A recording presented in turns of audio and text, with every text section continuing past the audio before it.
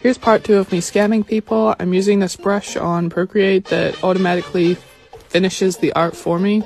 Since digital art isn't real art and there's all these pens that just finish it for me, I thought I would just make a video about it to show